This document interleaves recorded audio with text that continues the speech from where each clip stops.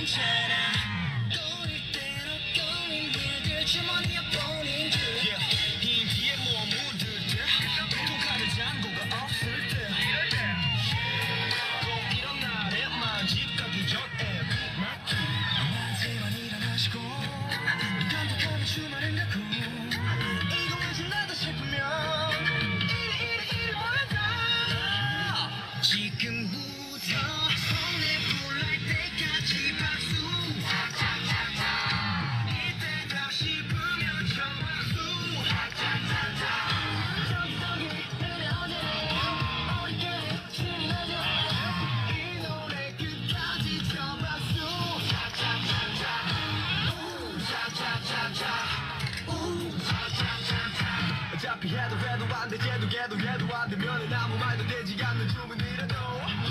소화무, 거북이와 두루미, 삼천가자 동발사 그럴 때가 있잖아. 내게 작아지는 기분 말야. 하라는 대로 했는데 나 눈치는 보고 있잖아. 나한테만 일어나 싶고 고민이 껌거리를 말고 이거 왠지 나도 싶으면. 이리 이리 이리 불러다 지금부터